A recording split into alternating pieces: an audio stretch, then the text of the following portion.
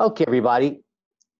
Today we're going to complete the shiur that we started last week.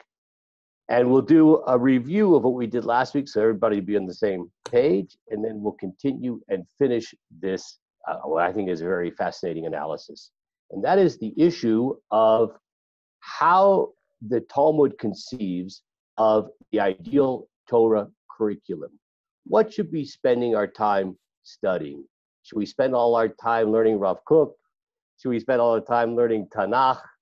Uh, so the Talmud itself tells us that based upon the pasuk, the verse in the Torah, "Vishinantam levanecha," you should teach them to your children. So the Talmud says, if you recall from last week, that the Talmud says, don't pronounce it vishinantam. You should teach them to your children. And the word, as we pointed out last week, vishinantam comes from the word sheni. Repeat twice. Rather, read it vishilashtam. You should, uh, I'm not sure this is a word, triplicate. Instead of duplicate, you should triplicate your Torah learning of vishilashtam from the word shalosh. What would that mean? that the ideal Torah curriculum should be, as the Talmud says, tripartite, that divide your years into three parts, is what the Talmud says, divide years into three parts. A third devoted to Tanakh, Mikra, the written Torah. A third devoted to Mishnah, the oral law. And a third devoted to Talmud, Okay, and uh, we'll review how we explain those terms in just a couple of minutes. The Talmud itself asked, uh, yes, Bruce. You didn't mention I think, last time. The idea that when you're a young student, perhaps it's referring to when you're young, you first learn Chumash and then Mishnah and then Gemara, and Yeah, then when yeah, you're yeah. older, you do something else. I mean, You'll see. We're going to discuss that today. That's exactly today's topic. Yeah. That's exactly today's topic. So the, the Talmud itself asks a question about this. How is this person, uh, how are you practically speaking supposed to divide up your life into three parts? The first third of your life devote to the Chumash. The second uh, third of your life you devote to Mishnah. The third to Talmud. Uh, how do you know how long you're going to live? So the Talmud says it must mean not that you divide up your entire life into three parts, you know, a third, a third, a third, but liyome, by days. Now, what does that mean? So Rashi explained, according to the explanation given by Tosfot, it means you divide up each week. So two days of your week, Sunday, Monday, you'll devote to uh, the Mikra, to Chumash. The second two days of the week, you devote to Mishnah, and the next third, uh, two days, you devote to Talmud. And uh, that leaves Shabbat. So Shabbat, I don't know. it's not clear what you do on Shabbat. You study Tanya on Shabbat. Okay. So, uh, so Tosfot has a uh, different explanation. Tosfot says no. It when the Talmud says liome by the day, it doesn't mean divide up the week into uh, three parts, each one being two days. That's the way Rashi understood it. But rather, each day should be divided into three parts. So you should uh, spend one third of the time you study Torah uh, each day on Mikra, studying the Chumash. The second third of the time allotted to study would be devoted to Mishnah, and the third part of each day that you devoted to study would be devoted to Talmud. Okay, fine. We dealt with a couple of technical problems last week. One of them is the very bizarre method of deriving from the words Vishinantam levanecha, you should teach them to your children that this tripartite curriculum. The Talmud says, don't read it Vishinantam, but Vishilashtam. So we know that exegetical technique, usually it's based upon taking the same consonants in the word in the Torah, but changing the vocalization. Like, don't read it banaich ella bonaich. Don't read it your sons, but your builders. So that has a certain reasonableness to it that perhaps on purpose the Tanakh and the Torah doesn't have vowels printed in it in order to allude to multiple understandings, but at least it keeps the root, three consonants that make up the root. But don't read a Vishinantam, but read a Vishilashtam is actually changing the consonants. It's a little bit of a, a hard sell. to understand how that works. So the Torah Tamima gave a very brilliant explanation, as we saw last time, that what the Talmud is really saying is it's not that you should see in the word vishinantam uh, a different word altogether, but addressing the meaning of the word. Vishinantam means teach it clearly. Shanun means clear, sharp. Now, how do you teach the Torah clearly? It's by combining the teaching of the Torah, which is written, with its interpretation and analysis. That's the only way to get clarity is what the Torah actually means. So that's what the Talmud is really saying. Vishinantam levanecha. How does one teach Torah to your children in a way which is going to be sharp and clear? By combining the written law with the Mishnah and Talmud. That's how the Torah Tamima explained the meaning of that particular passage.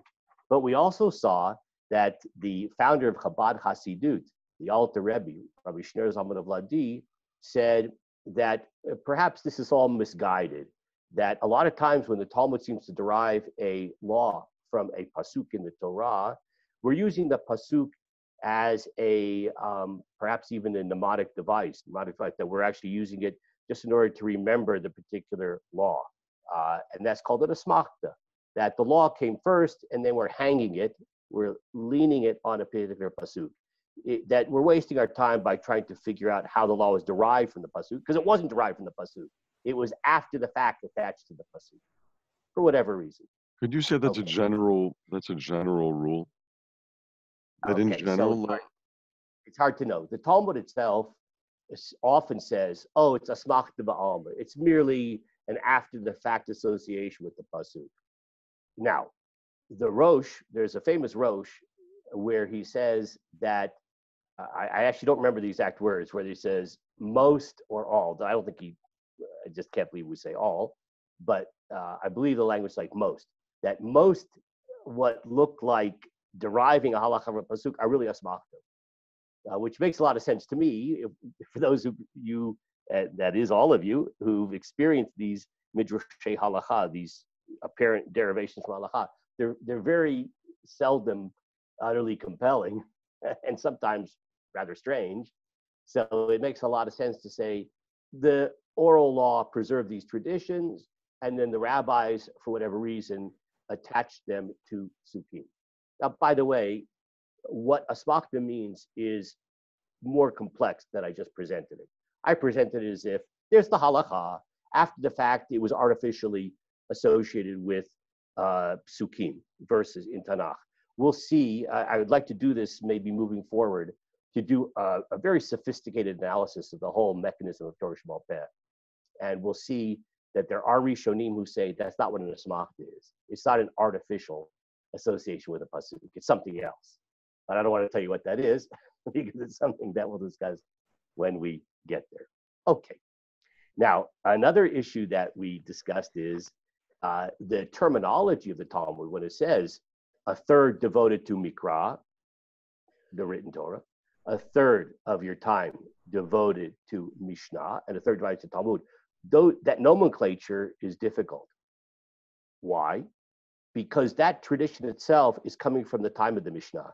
There was probably no book called the Mishnah when that uh, that quotation was uh, first uttered. It's uttered by a Tana, one of the teachers that is then quoted in the book that later is created called Mishnah. Even more significant is the term Talmud. Right there, there is no Talmud in the time of the Mishnah. Talmud was written later. So what could that possibly mean? So we saw that the Rambam answers that question, and he defines these terms, and he says that when it comes to Mikra, the written law, okay, that's pretty clear what that means. That's not a problem. Now, the second category of Mishnah, that's not necessarily the name of a book, but it's a reference to the oral traditions, okay, which were later edited and put into the book called the Mishnah. But in fact, that term is used for these oral traditions, not necessarily to the literary work called the Mishnah. The reason it's called Mishnah is because these are traditions which were memorized and uh, you memorize by rote, by repeating. So Mishnah from the word Sheni, those traditions which are memorized through repeating. And then he goes on to say that uh, what is Talmud then? Talmud is certainly not the book called Talmud, but it means rather analytical thinking. The ability to use a precedent and derive, extrapolate from the precedent to an unknown case, to think analytically about reasons, uh, to be able to formulate the halacha in more abstract terms, etc., to be able to know how to apply a halacha to uh, contemporary events, etc. That's all analytical thinking, and that's Talmud. Why is the book that we now call Talmud called Talmud? Because it contains analytical thinking, which is Talmud. Okay, so that solved that particular problem. But then we went on, and this is where we ended last time, dealing with a, uh, a practical problem. And that is wait a second, this is a halakha psuka. This is a law which is codified in the Talmud about how one is supposed to learn Torah in terms of this tripartite uh, curriculum. We don't do that. The holy yeshivas, as we pointed out last time, they do divide their day to three parts. There's morning Seder, afternoon Seder, and night Seder. The only problem is that morning Seder is Gemara, Talmud. The afternoon Seder is Gemara, Talmud. And the evening Seder is Gemara, Talmud. So uh, that's perplexing. How come that in the uh, curriculum, which is adopted in the traditional yeshivot, that we don't abide by this law, which is codified in the Talmud. Now, uh, it's I, worth I, pointing out. I think, yeah, go ahead. Yeah, I just um, the Mishnah and Kiddushin uh, basically talks about learning Torah, Mishnah, and basically um, derech eretz, in essence, being a, a mensch, being being fulfilling the mitzvah, actually doing. So why are we saying that it's divided into three types of learning when may, the last mode of learning should be doing the mitzvot. If we otherwise we have no time to do mitzvot. Right. okay. So perhaps I mean that's a very good point. That at the end of the day we're expected to apply Torah. So uh, it, I mean, put it this way. Maybe the way to explain that point is that uh, I don't know uh, if the conception here is that every waking moment of the day is spent in the Beit Midrash doing nothing but learning, right? That's not the way most people can live their lives. Even Torah scholars, you also do things. You know, you go home for lunch and you interact with your family, and uh, and it's those times outside of the Beit Midrash when we actualize the uh, the learning that we do. And the truth matter is, there's plenty of actualization goes on in the Beit Midrash even in the insular environment of a Beit Midrash, as uh, anybody here who's been in yeshiva knows, there's plenty of room for fighting with each other, arguing about closing the windows, opening the windows, whatever. so uh, yeah, that's a very good point. Uh, at, at, the end of the day, Torah is for actualization. Okay. So how is it that we don't actually divide up Torah curriculum traditionally? Oh, I, I forgot. The point I wanted to say was that there are yeshivot nowadays uh, that are uh, do in fact have part of their curriculum Jewish thought and uh, Tanakh, etc. You find that mostly, let's say, in yeshivot Hesder. You don't find that type of uh, formal curriculum which involves other subjects in the you know more traditional yeshivot.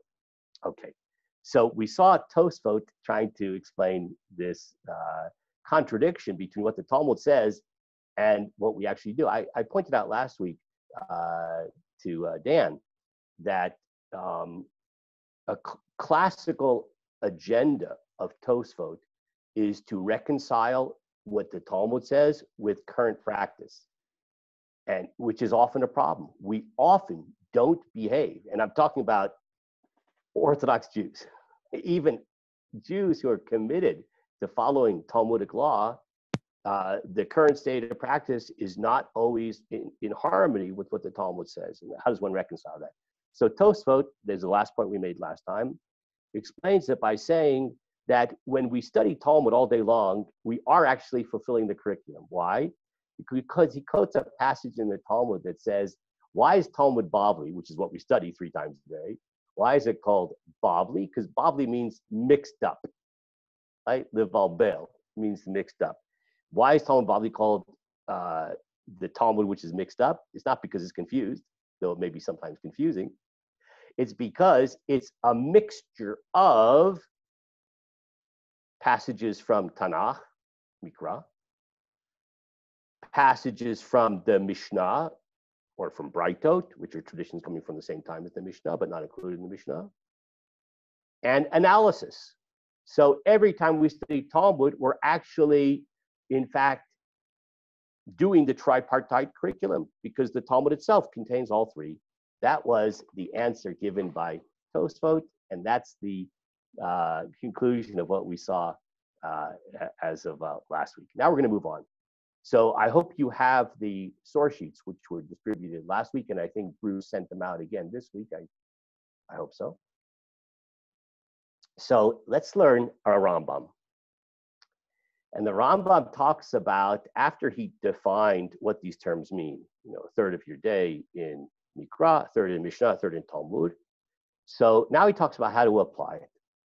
So this is source number eight. Kate Sad, how do you apply this? Hayab bal umanut. What if you work for a living? People actually do that, believe it or not. People work for a living. I know it sounds strange. So what do you do? So, okay, you work for a living, three hours a day. I, I find this really astounding that uh, I'm assuming this represents some type of uh, reality that uh, there was a time when, in order to make a living, you didn't need to work more than three hours a day. Uh, so it's not really what happens nowadays, but uh, okay. Uh, three hours a day you're going to work. Now, let's assume there are 12 hours of productive waking time in a day. That's the Rambam's assumption here, just to make it easy. So three of those hours, Nebuch, you had to work for a living. You're a plumber, worked for three hours. Uva Torah, so now you have 12 hours of waking time, leave nine hours left. What are you going to do with those nine hours? Otana Tesha, those three, those nine hours, Kore b'shalosh mehen. So you're going to now uh, uh, apply the tripartite curriculum. curriculum. A Torah should be tav, uv'shalosh b'torah shaval peh, uv'shalosh mitbonein bedato lavin davar davar. So uh, the first three hours uh, of those nine hours left, you're going to learn Mikra. You're going to learn Tanakh.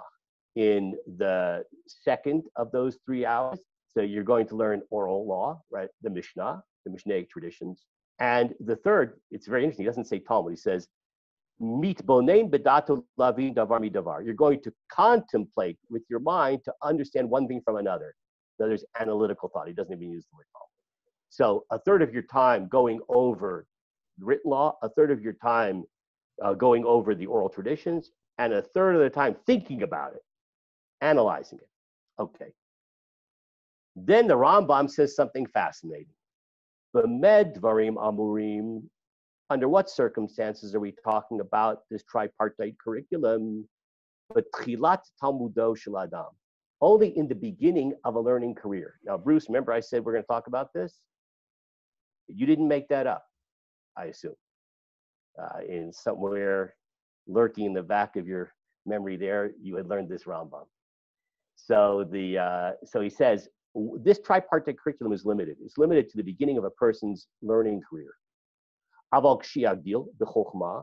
When a person uh, becomes greater in wisdom, and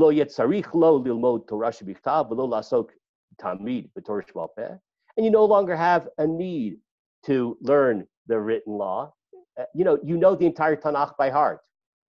There are people at Efrat that know the Tanakh by heart. I was once amazed. I, uh, I mean, the truth of the matter is now I live in Alon Shvut for many years. there are a lot of people. Matter of fact, I, am just like sharing right now. Uh, you know, because of Corona, so the way we organize reading the Torah in the street minyanim, every everyone does it differently. So one of the ways it's done, because we don't want to have a lot of people standing around the Torah scroll because of social distancing. So uh, in some of the minyanim in Alon Shvut, there's only one person at a time standing from the Torah. So how do you do that? You're called up to the Torah. Well, who's going to read it? You. the Oleh, the person called to the Torah, is going to be the one who reads the Torah. Well, that's a little high pressure honor there because it means if you're given an aliyah, you're expected to be able to lane that particular passage in the Torah. That means pronouncing the words properly, and it means singing it properly. Now, people don't prepare, right? And it's amazing in Alon Shvut, and I'm sure that many people in Efrat the same way, they can do it. Just randomly called up for an aliyah, and they lane it perfectly with the vocalization and with the musical notes. It's actually awesome. I, I'm a Levi and I get a lot of aliyot because I'm a Levi. I try to maintain a very low profile to avoid getting an aliyah under those circumstances, lest I embarrass myself and the whole world. so, in any case, the um, the Rambam is assuming that uh, a person who's a Torah scholar has achieved that level of proficiency in Mikra. After a certain while, you basically know Tanakh by heart. Okay, so you don't have to spend a lot of time going over that. Now, the same is true, he says, when it comes to Mishnah, because at a certain, it's it's basically a bunch of traditions that need to be memorized. Mishnah, to repeat, wrote. Okay, so uh, after you've mastered that, let's say uh, uh, you're uh, 15 years old. So by the time you're 15, you know Tanakh. Let's say 20. You know Tanakh by heart, and you know Mishnah by heart. And there are a lot of people, kids. They have contests. Probably in Efrat, this happens. There's little kids. They have con- how many Mishnayot they can memorize. Okay, so smart person, he knows all the Mishnah by heart. Okay, so now what do you do after that? So he says that, well, afterwards, right? Uh, so what are you going to do with your time? Because you've already mastered the written Torah, you've already mastered the oral traditions. So he says the following. Velo la sok tamid b'torah peh, right? You know all that. Yikra be'itim muzumanim Torah shabichav. So just occasionally you go up, you'll do review of the written law.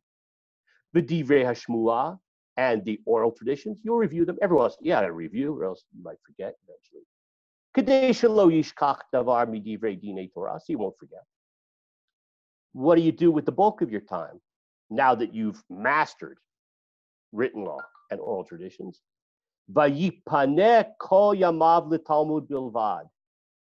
That he will uh, use all of his time for only Talmud only Talmud. Lefirochav libo, in a way which corresponds to the literally the expanse of his heart, vishuv dato, and uh, how focused a person is. Okay, the way it's translated in this translation, which is not my translation, according to his ambition and his ability to concentrate. Well, that's pretty amazing, according to the Rambam. This tripartite curriculum is indeed the halacha, but only up to a certain stage in your intellectual development. Once you've mastered the written law and the oral law, after that, only Talmud. Only Talmud. Fine. Now, I want to show you something fascinating. What's the Rambam doing here? Why does he say eventually you should only study Talmud? I want to take a look at the two most famous commentaries on the Rambam's Mishneh Torah. So first we're going to see the Kesef Mishnah. The Kesef Mishnah is none other than Rabbi Yosef Karo, the author of the Shulchan Aruch. He also wrote, he was a busy person.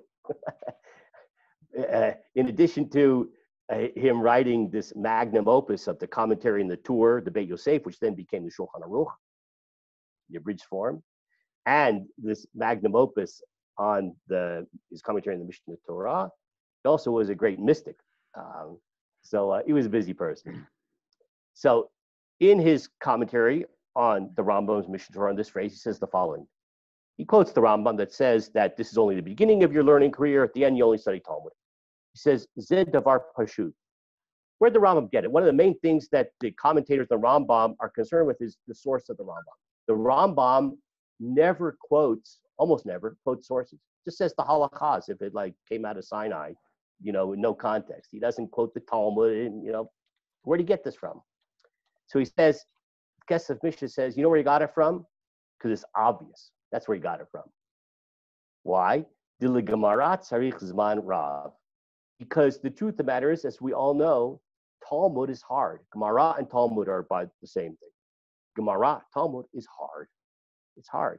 You know, a pasuk in the Torah, you can read it and translate it. Okay.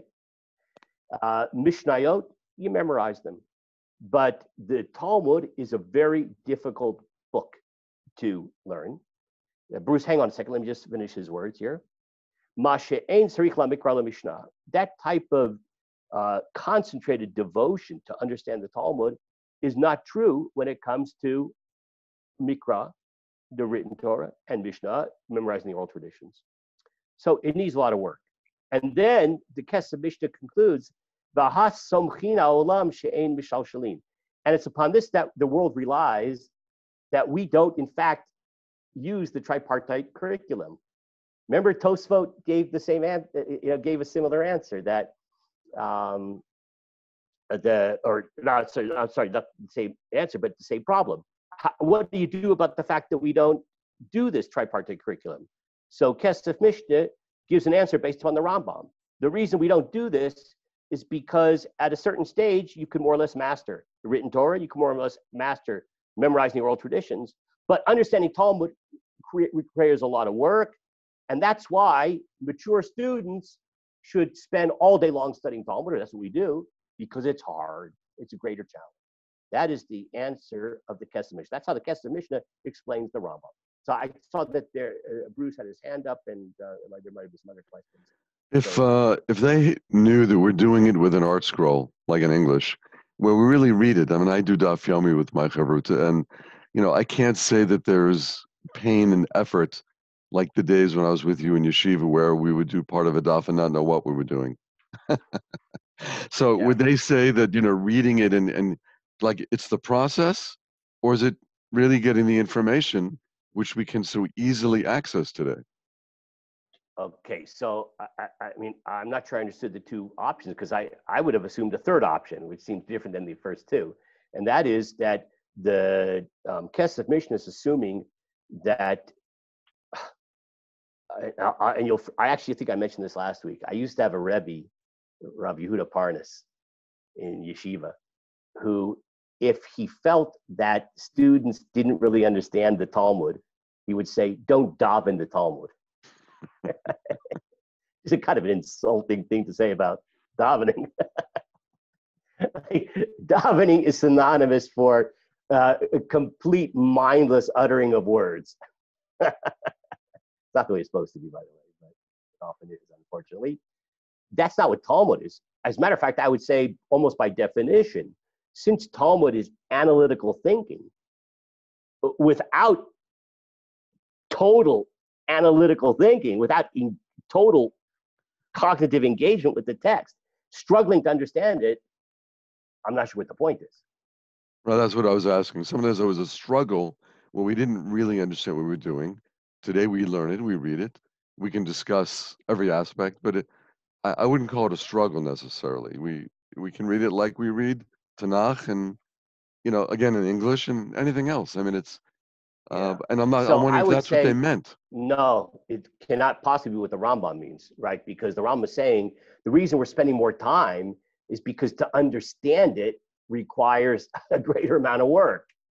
But if you're only davening it, you'll forgive the expression, then you might as well just spend a third of your day because you know if you're davening it, that doesn't require any particular um, greater devotion of time. It's because it's so ban- banning an ArtScroll is a good idea or not a good in yeshiva. and what's what's the bottom line with it? Should students learn with their ArtScroll? Yeah, yeah. I would say the following: that I mean, this is a little bit off topic, but I would say that uh, ArtScroll is uh, a very powerful aid to Talmud study, but uh, shouldn't replace the struggling with the text. So we'll leave it at that. Okay. So that's the Kesef Mishnah's understanding of the Rambam.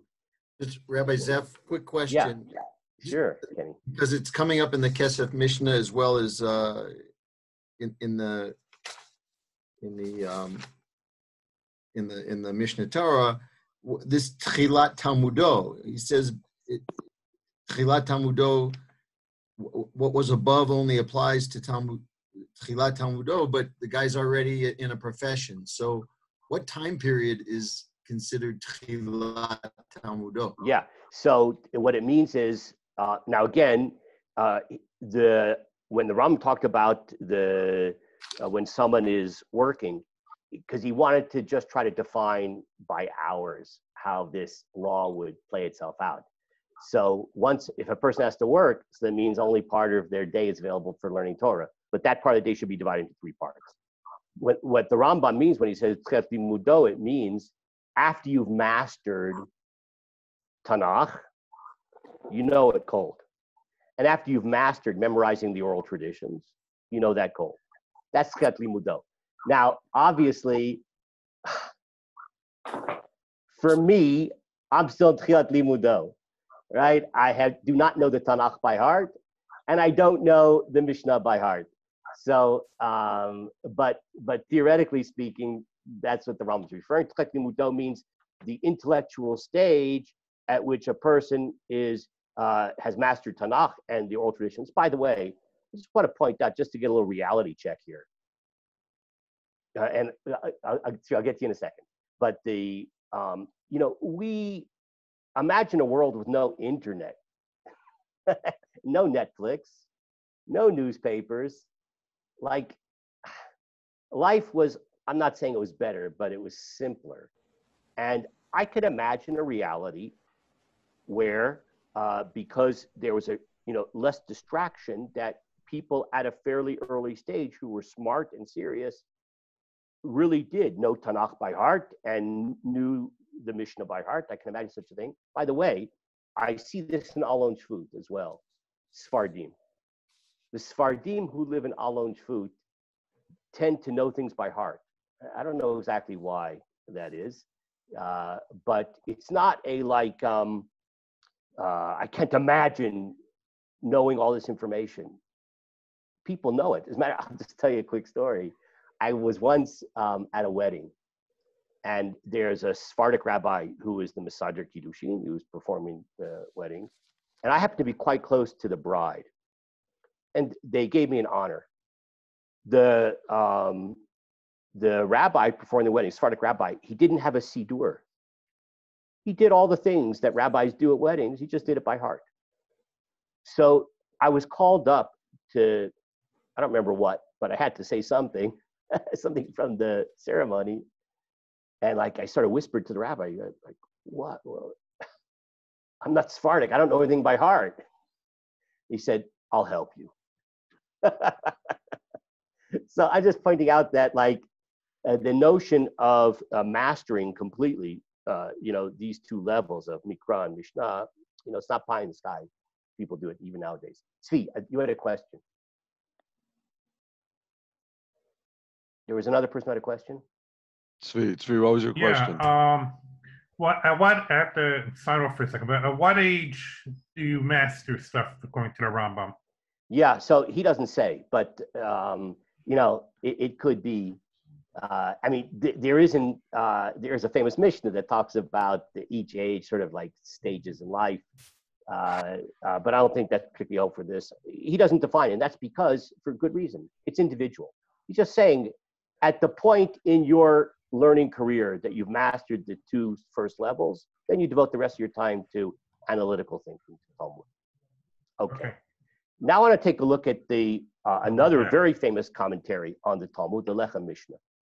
So Lechem Mishnah was written by a rabbi from Salonika, from Greece. He lived in the 16th century, uh, Rabbi Avram de Boton. And he says the following. He's, co- he's commenting on the Rambam. When the Rambam says it's only the beginning of your career, after that you should learn only Talmud. He says the reason the Rambam wrote this is because he wanted to, in the spirit of Tosfot, to reconcile the fact that we, so even in the 16th century, they only studied Talmud. Right? What about the tripartite curriculum? So He says that's what motivated the Rambam. The Rambam had to come up with a distinction. The distinction was that we only study Talmud later on uh, because the other because it's the hardest. The other two things are are easier. Okay. Lazeh Amar Misfar Denafshe. And he, he, where did he get this distinction from? Right? That uh, Talmud uh, requires more of your time. It represents a greater uh, level of intellectual sophistication.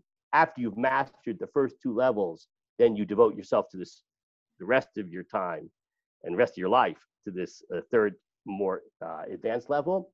He says he made it up. That he says misvarat nafshe.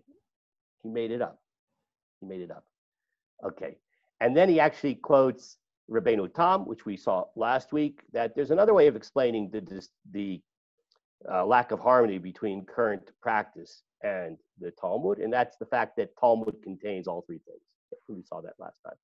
Okay, so that's his explanation of, of the Rambam. That where did he get it from? He made it up, and he made it up in order to reconcile the distinction between the Talmudic law and current practice. Now, I'm going to suggest a totally different way of understanding the Rambam. That the Rambam was not necessarily trying to reconcile current practice of Talmud, Talmud, Talmud with the Talmudic recipe of Mikra, Mishnah, and Talmud, but for a very different reason. I also have to warn you that what I'm about to say is speculation and could be utterly wrong. We're going to take a look at an ultra controversial passage in the Rambam's Guide for the Perplexed. And before I read it, I just want to sh- share with you a comment that was written by a rabbi who lived a short time after the Rambam. And he says the following This is uh, shame, uh, it's um, uh, uh, Shem Tov ben Yosef ibn Falaquera. This is not the uh, the head of the uh, of Dubai. Ibn was also a okay son of. He says the following: Amar Shem Tov. So he's quoting this uh, rabbi here. Rabbi me'achachamim harabanim. There are many rabbinic sages, Amru, that said the following. Hizah Perak, the chapter in the Rambam's Guide for the Perplexed, which we're about to read in a, in a few moments. Lo kitavo harav. The Rambam couldn't have written it. He didn't write it. A whole chapter in the Moreh Nevuchim, the Rambam didn't write it. Vim kitavo, and if he did write it, sarich geniza, it should be hidden away. Vayotera uilo hasrefa, and even better, should be burnt. Okay? Ki amar, because how could he have said the following? Now, I'm not going to tell you uh, was objectionable. You'll see in a second it's objectionable. But this is quite amazing that uh, there was a rabbinic opinion that he couldn't have written it. And if he did, it should be hidden away or better yet, burnt. Now, you're probably wondering, what could the Rambam have said that was so offensive? So we're going to turn now to the uh, next page. And we're going to read this chapter in the Guide for the Perplexed. The Guide for Perplexed was written in Arabic. So I don't feel too guilty just reading this in English, since even the Hebrew would be a translation from the Arabic. By, by Arabic. the way, Shem Tov was an expert in Arabic. He wrote a dictionary. Yeah, right, right. So yeah, I'm not surprised, of course. Um, in any case, so we're going to read it in English. The present chapter does not contain any additional matter that has not been treated in the previous chapters of this treatise. This is at the end of the Guide to the Perplexed. It is a kind of conclusion and at the same time, it will explain in what manner those who worship God, who have obtained a true knowledge concerning God, it will direct them how to come to that worship, which is the highest aim man can attain, and show how God protects them in this world so they are removed to eternal life. This is like quite a, uh, a framing of this chapter. The Rambam is going to tell us uh, a spiritual path, how could how to come to worship God on the highest possible level. Well, Ready for this? Put in your seatbelts, please. I will begin the subject of this chapter with a simile. A king is in his palace, and all his subjects are partly in the country and partly abroad. Of the former, some have their backs turned towards the king's palace, and their faces in another direction altogether. And some are desirous and zealous to go to the palace, seeking to inquire in his temple and to minister before him. but have not yet seen even the face of the wall of the house. Of those that desire to go to the palace, some even reach it and go round about in search of the entrance gate, but they never get in. Others have passed through the gate and walk about in the antechamber, and others have succeeded in entering into the inner part of the palace and being in the same room with the king in the royal palace. But even the latter do not immediately on entering the palace see the king or speak to him, for after having entered the inner palace, another effort is required before they can stand before the king at a distance or close by, hearing his words or speak to him. Okay, so this is his analogy, and we're wondering what the heck is the Rambam talking about here? So he says, well, now I'm going to explain this analogy that there's all kinds of people and their relationship to the palace and the king that's in the palace. I will now explain the simile that I have made. The people who are abroad, the furthest from the palace, are all those that have no religion, neither one based on speculation nor one received by tradition. Such are the extreme Turks, with all due respect to the Turks, that wander about in the north, the Cushites who live in the south, and those in our country who are like these. I consider these as irrational beings, not as human beings. They are below mankind, but above monkeys, since they have the form and shape of a human being and the mental faculty slightly above that of a monkey. So they are human beings that have no religion whatsoever, and they are essentially monkeys plus. Okay, fine. Uh, those who are in the country, so a little bit closer to the palace, but have their backs turned towards the king's palace, are those who possess religion, belief, and thought, but happen to hold false doctrines. So they're religious, but what they believe is false which they either adopted in consequence of great mistakes made in their own speculations. They thought about it, they adopted a religion, and they were in error in their thinking, or received from others who misled them. Their teachers taught them a religion which is false.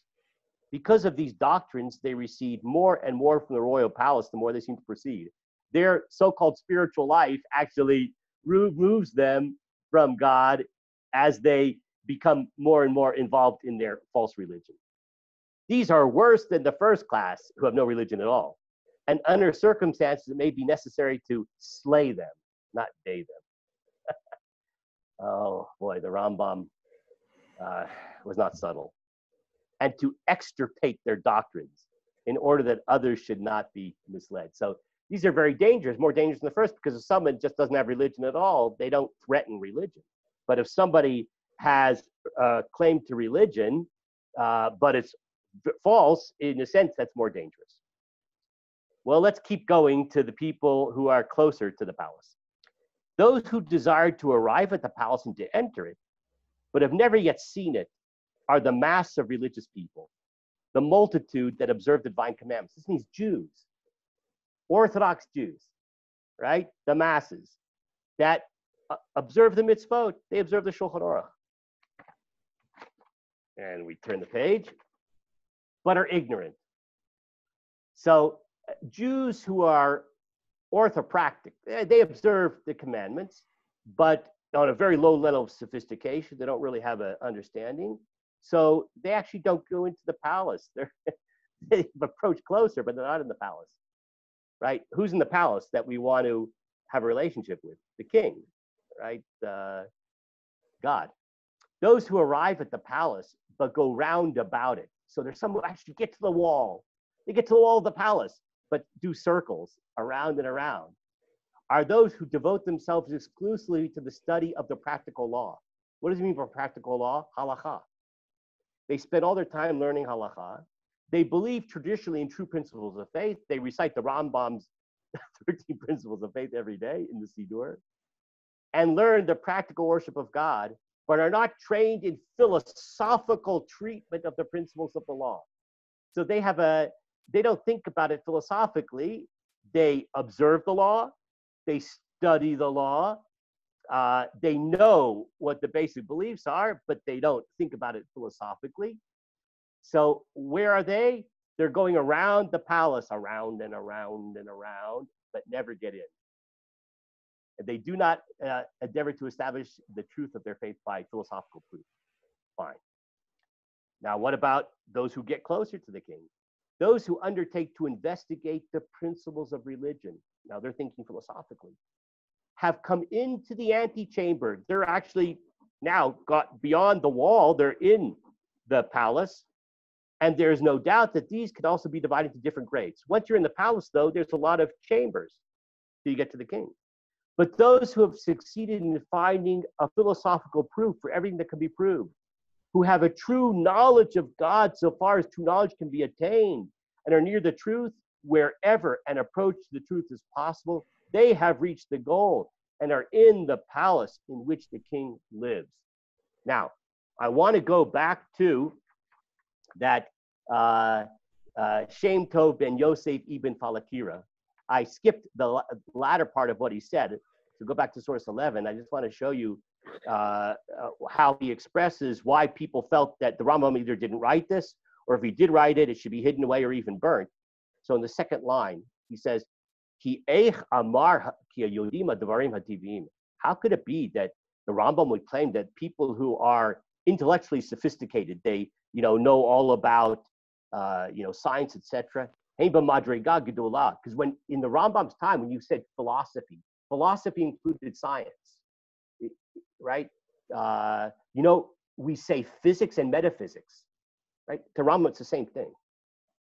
It means to understand reality, understand truth, which part of that is understanding the way the world works scientifically and how to un- understand it philosophically. Physics, metaphysics, all the same.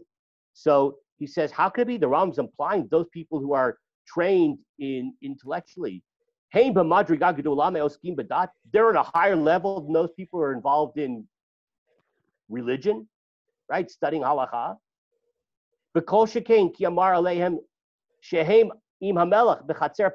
And all, all the more offensive to say that they're going into the palace, the inner chamber. If that's so, according to Rambam, philosophers who are engaged in natural law and in philosophy, trying to understand God, they're higher than people who study Talmud all day? Cannot be. He couldn't have, couldn't have said it. And if he did, it should be hidden away or better part. Okay. So this is a very controversial. Because it's not true or because it's like dangerous material? Because it it creates a priority.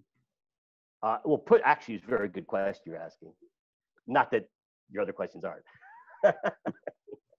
but that uh, it, it it could be that the, there's a certain intellectual arrogance one could perceive in the Rambam's approach.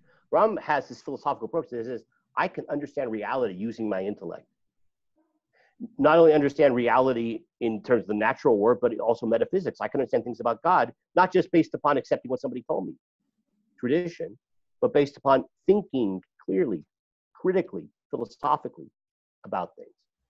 So I could imagine someone saying, that's very dangerous. Well, you think you think you have the intellectual equipment to understand God?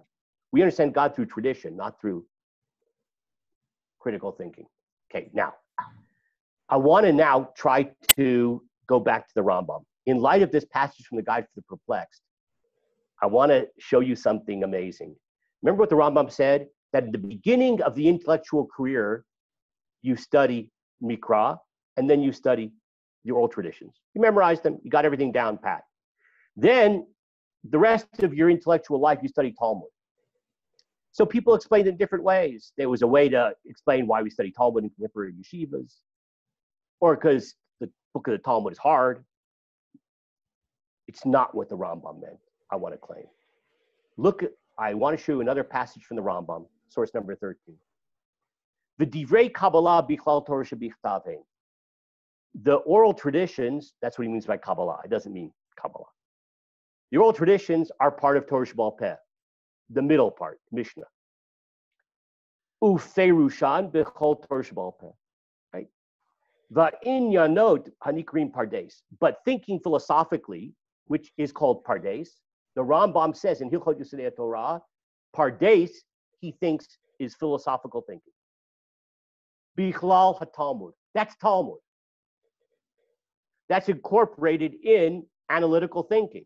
which he called that's called Talmud. The Ram says that's analytical thinking, and philosophical thinking is incorporated in the category called Talmud. Now look what now go backwards. What did the Rambam say? When you're young in intellectual development, spend your time in you got the Tanakh down pat. You can lay in any parsha. The second element, you memorize the Mishnayot, the oral traditions. Great. But look what the Rambam said. If you want to enter the palace and you want to have a private audience with the king, in the Guide for the Perplexed, he says, how do you achieve that? Through philosophical thinking, through understanding, through logic, the reality of God and philosophical truth and the, the reasons why the mitzvot are true and our, uh, our theological thinking is true. That's done through philosophical thinking. That's the highest level of intellectual spiritual development. That's how you get to the king. And that's what the Rambam meant when he said that when you're young and immature, Tanakh and oral traditions, memorize them. But you want to get to the king, Talmud. Devote yourself to Talmud. Why? As he says here, because Talmud is philosophical thinking, and that is the way to get Yeah. to. Hey, the here's king. Bertha Painter saying hello to the rabbi. Hi. Just say Thank you. Okay, now I want to show you something fascinating. So, and then with, we'll end because uh, the next speaker is about to begin. Hold on one second. Let me mute myself. Yeah. So I want to show you. Remember, we talked a little about before. We quoted the Alter Rebbe, the founder of Chabad Hasidut. He codifies this halacha too, and he was looking at the Rambam, this tripartite halacha. Look how he says it. Ach perush hamikra, the interpretation of Tanakh, udrashot, udrashot yechashvu bichlal shlish. So uh, the interpretation of the Tanakh and our oral traditions, that's part of Mishnah. Fine, nothing new there.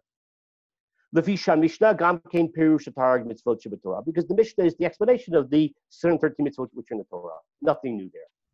Now look what he says here, and compare this to the Rambam. The Rambam ended up by saying, and philosophical thinking, which is called pardes, is included in the term Talmud. Now look at Shulchan Aruch Harav. The wisdom of the Kabbalah. And here, he, when he used the word Kabbalah, he means Kabbalah, mysticism. Jewish mysticism is included in Talmud. The Rambam, with this, uh, my concluding remarks, and the Alter Rebbe are both saying the same thing. And this is extremely important takeaway. The entire point of learning, according to the Rambam and according to the Alter Rebbe, are to access the king, to establish a meaningful relationship with God. That's the, that's the point. It's not a cognitive exercise. And it's not just telling you how to act. That's, that's the halakha. But ultimately, everything is directed to becoming a God centered person, to understand what God is and have a relationship with God. Is that achieved through philosophical endeavor? Rambam. Is that achieved through Kabbalistic endeavor? Alter Rebbe. But that's the point. That's the end zone. And that's why Talmud is the end zone of one's learning.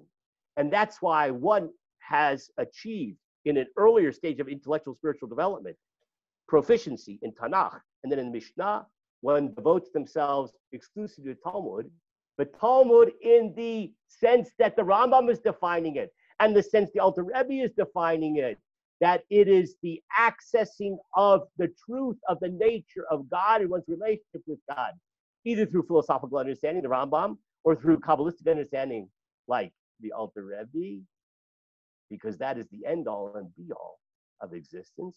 And it is through that that we ultimately uh, access our private audience with the king and eternal life, the soul, as the Rambam has said. And with that, we will have finished this particular topic. Take care, everybody. Thank you, Rabbi Zeff. My pleasure. Thank you.